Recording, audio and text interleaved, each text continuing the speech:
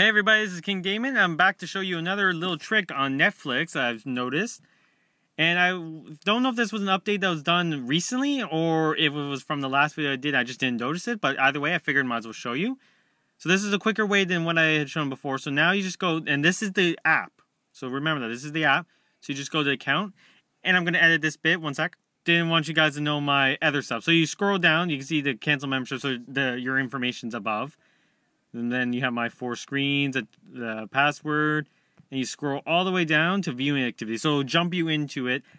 Now, if Netflix is a, a um, if you're able to get on other things such as your Xbox or whatever, I don't know if it will jump you into it as well.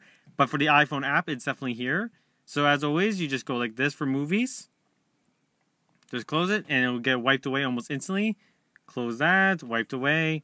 And then for TV shows, remove the whole series. Do it again. And we'll go to that one more.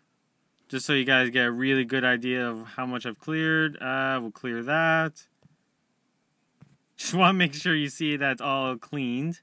Because as you guys may have saw on the other one, it was full of stuff. So there we go. So that should be all of it. Now we jump back. And it's gone. Like it says 24 hours, but I find it's pretty damn quick. But like I said, it is all gone. So that's the new update I wanted to show you.